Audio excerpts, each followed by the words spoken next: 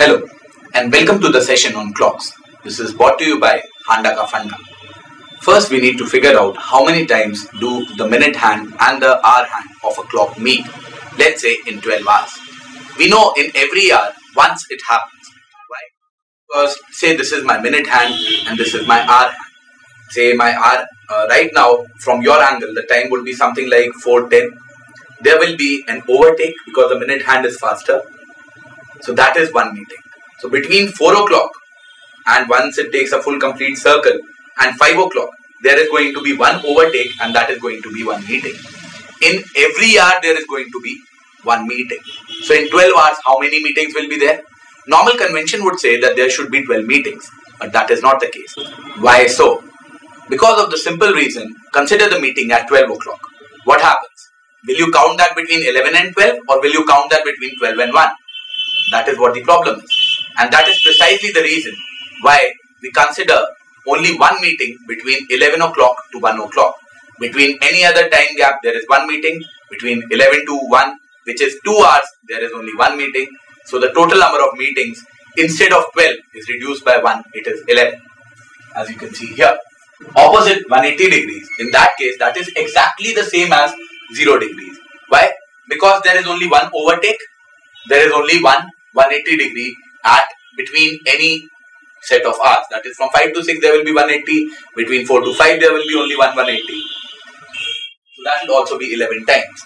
But please remember, for every overtake, as you can see here, there will be a 60 degree before and there will be a 60 degree after.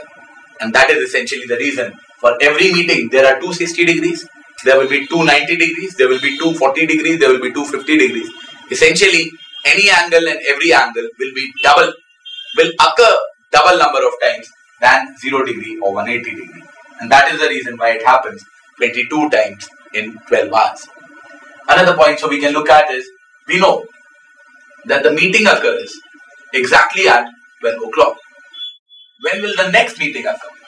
Uh, I can say roughly around 1 5 because that is when the overtake between 1 and 2 will happen. But that is not the case. For the exact time, you need to figure out that how many times the meeting is happening. The meeting is happening 11 times or 11 times in 720 minutes. So per meeting, it will take how much time? 720 by 11, which is 65 5 by 11 minutes. That means after the first meeting at 12 o'clock, next meeting will happen at 1 5 5 by 11. What about the next one? The next one will happen at 2 10 10 by 11, which is 1 5 5 by 11 after the first one.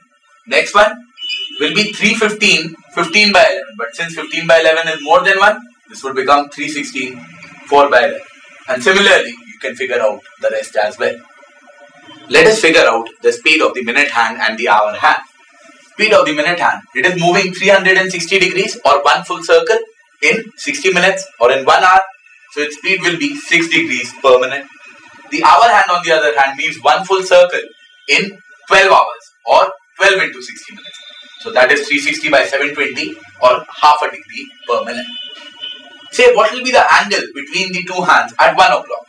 At 1 o'clock, my clock will be shaped something like this. So one gap, what will be the angle? In 12 gaps, the angle is 360 degree. So in one gap, that is at 1 o'clock, the angle will be 30 degrees. At 2 o'clock, it will double 60 degrees. 3 o'clock, it will be 90 degrees. 4 o'clock, it will be 120 degrees. At 7 o'clock, it will be 7 into 30 or 200. So if it is a perfect hour, as the three cases mentioned here, it is very simple to find out. You'll just multiply it with 30 degrees and you will get your answer. But what are you going to do if it is 540? For that, you'll need to assume a base. For 540, what uh, you know the angle at what time? You know it at 5 o'clock. At 5 o'clock, where are the hands? The, where is the R hand? R hand is at 150 degrees from the vertical. It would be something of 150 degrees from the vertical. And where is the minute hand? My minute hand is exactly at 0 degrees. What happens in the next 40 minutes? In the next 40 minutes, the minute hand will move. The hour hand will also move. the hour hand will go to a new position and the minute hand will also go to a new position. Hour hand will move how much? Hour hand moves at half a degree per minute. So in 40 minutes, it will move 40 into half or 20 degrees. The minute hand moves at the rate of 6 degrees per minute. So it will move 40 into 6 or so their final positions are going to be the hour hand will be at 170 degrees and the minute hand will be at 240 degrees. The difference of those two, which is 240 minus 170, that is effectively 70 degrees, will give me the angle at that point.